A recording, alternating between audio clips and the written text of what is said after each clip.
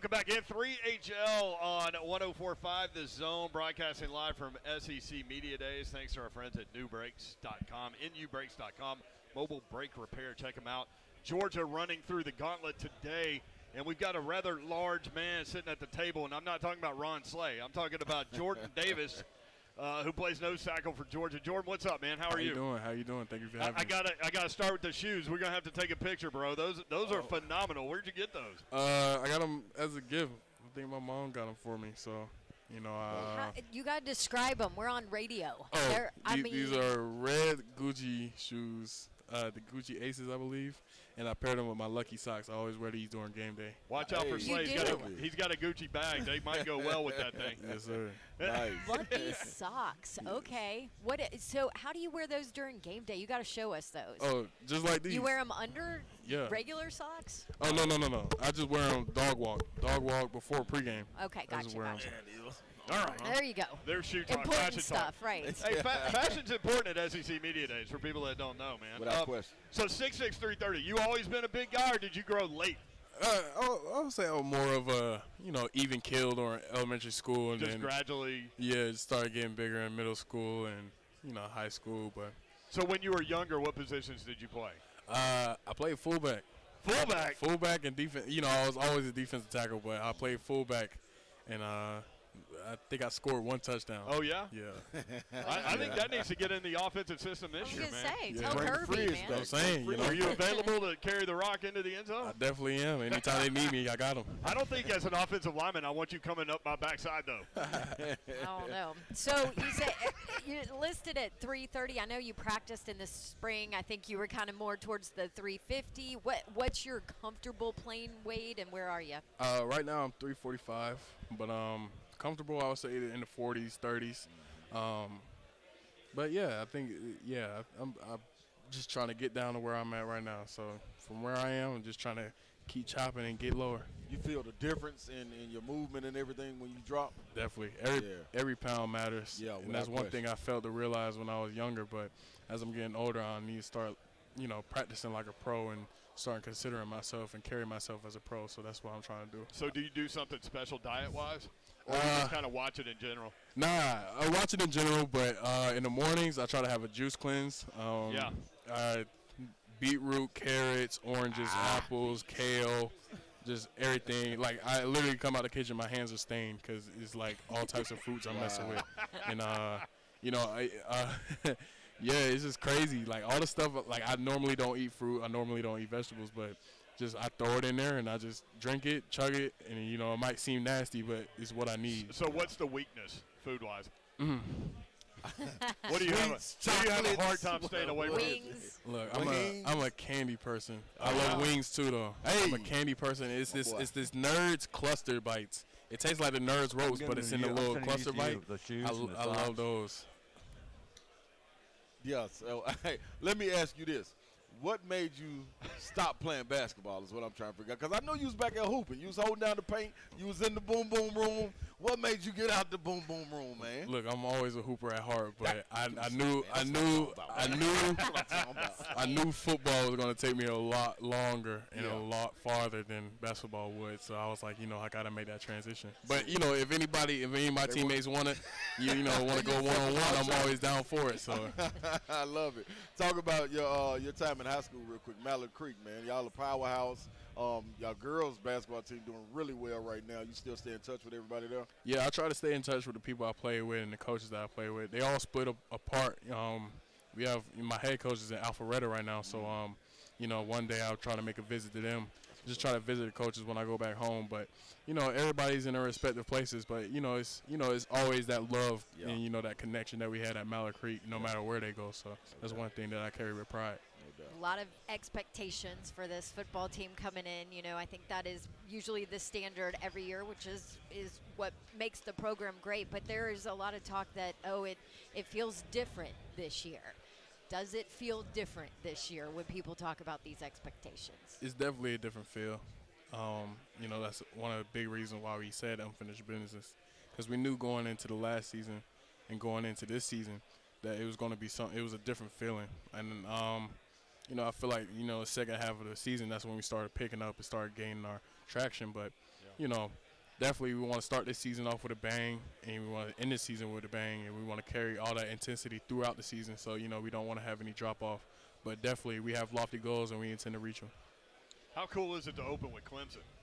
Very cool. I mean, you know it's there. Yeah. But Yeah. but is it cool? I mean, would you rather open with like just juggernaut, like go all out, or would you rather open cupcake? Nah, I would rather have it just just how it is, Yeah. exactly how it is. Um, you know, Clemson is a great program, great team, Yeah. and we're definitely excited to play them. Um, we actually have somebody from Mallard Creek that played for Clemson, so Oh, that's- yeah? yeah, There that's definitely like one of those games that our coaches will be watching. Uh-huh. And uh, bragging rights on the line. yeah, definitely, it's definitely bragging rights when it comes to stuff like that. But um, you know, it's just one of those games. You know, you gotta win it. You gotta you gotta have it. You want to go one and zero each week, but you know, Clemson is gonna definitely be a big test, and you know, we're ready to go go at them. And how did that play for you in the in the uh, spring and things like that? You know, because you got a target you want to meet. You know, what better competition than to play a team like Clemson, and you get to focus on them to get ready and riled up and Right. hit the weights and everything. How'd that play for you guys in the spring? Well, you know, we don't really pay attention to that uh, until it gets later on in the season. Right. You know, around camp time and stuff like that. We're just really focusing on ourselves, honestly, and um, yeah, we just focus on ourselves and everything will fall into place. You know, Yeah. And it's just one of those things where you know you don't really listen to the noise, you don't listen to the hype. You know, I deleted social media because I don't want the hype, but you know. it- It's still something on your mind. In the back of your mind, you know, you can't get away from it. You can't, but you, you know, you just have to keep pressing forward and improve yourself. Jordan Davis, uh, Georgia nose tackle. Is this the best defense in the country? I can't say right now, Okay. But They were last year. we're definitely promising. yeah, Definitely it's promising. definitely promising. That's a great. Let, let me ask you this, man. I, I've sat in your seat um, on the basketball side of it before, and I came into it definitely with team goals like you have, but individually. You know, you, you, you chose to come back. You know, what I mean, you, you had a lot of things in front of you. Yeah. What's something individually, you know, uh, you know that can you you can accomplish for yourself, but still stay within the team. I just want to make sure I'm the best player that I can be, you know, in any aspect, um, whether that's mentally, physically. I just want to make sure that I'm the best that I can be. And, you know, I don't want to end this season with regrets, considering that this may very well be my last season. Right. And I just don't want to have any regrets when it's all said and done. That's it. Playing nose tackle, I mean, you got to be an unselfish guy, right? Definitely. Like, uh, how challenging is it to play in the trenches in the SEC right there and try to keep the offensive linemen off the linebackers so they can go make plays? I always call the SEC uh, NFLU because Yeah. it's like you know the step below, but um, it's definitely the trench. The trenches in the SEC is probably probably the best competition you're gonna go against at this Yeah. level, and um, you know I'm grateful. I'm grateful for the experience, and you know you you know most of us you know we're, we're cool outside of games, you know, um, but. You know, you just want to get that experience because you may very well be playing against or with the people at the next Very level true. that No you're going question. against. So, true. you know, it's just one of those things that you like take in consideration and take, you know, you have gratitude for that you're able to be in this position. Love it. Love it. Who's the best offensive lineman that you've gone against, like interior offensive line, or, or who gives you the most trouble? Like, who do you enjoy going against? Like, is there one guy that kind of stands Um, out in your career at Georgia? I would say Solomon Kindley Okay. Oh, from previous years, yeah. but um, What was it about him? um, him and Andrew, that was one of the things that like when I first got on campus, I got double teamed by them, and that was one of the things I'm like, all right, like I got to hold up like Yeah, that. because you're getting double teamed all the time. Yeah, I get double teamed all the time, but with them coming together, it's kind of hard. And it was one of those things as a freshman, I was like, all right, that's one thing I need to work on. So every day, you know, I never shied away from it. I always ran to it, and um, you know, it made me a better player. You know, uh, you know, you experience, you practice with them every day. You only get one game a week, so you know, when you have that experience every day, you know, you get better and better. And the iron, like the saying goes, iron sharpens iron. So. Yeah. Yeah. We've asked a, a bunch of the players, you know, yesterday and today that have come through, biggest trash talking team in the SEC, and we've had some crazy answers. I'm not gonna lie, like like the first answer we got was Missouri. Yeah. Who who would have thought, Yeah. right? Uh, so Stingley from LSU said Missouri. yeah, he Mm. said Missouri. so South Carolina guy said Tennessee. Really. Well, what do you think? Uh, honestly, I can't I can't really say for sure. You know, I'm That means it's you guys. nah. You can't can't talk. Nah, I'm usually. I'm usually the one peeling my teammates off people, but um, but yeah, I, I I I me personally, I don't talk trash. You know, I'm all about business, and Yeah. you know, at the end of the day, it's a game. You Yeah. know, it's, football is meant to be a game, so you know that's how I treat it. You know what, Jordan? You're a very humble guy. Tell me what drives you though. Like what what makes you get up in the morning and go get it? My mom and my brothers. I have a tattoo. It's called Feed the Pack, and there's three wolves, and that all represents my family. And it's a big wolf on the top, and I can see myself as it. But um, that's one of those things that I wake up and you know the times I'm like, dang, I really don't want to get up right now. I don't really want to practice. I don't really want to get out for workouts because you know it's hard. It's, Yeah. a, it's a long, it's a grind. You No know, you we're not superhumans. You know, but it's just one of those things that get me out of bed. And also my dog, my dog gets me out of bed. Yeah. Like literally and figuratively. What 'cause, kind of uh, dog you got? I have a pit bull. All right. Yeah, Because Yeah, like- you better get out of bed. Yeah, What's she his wa- name? she Or what's her name? Her name is Izzy, but she wakes up like eight o'clock on the dot, like no matter what.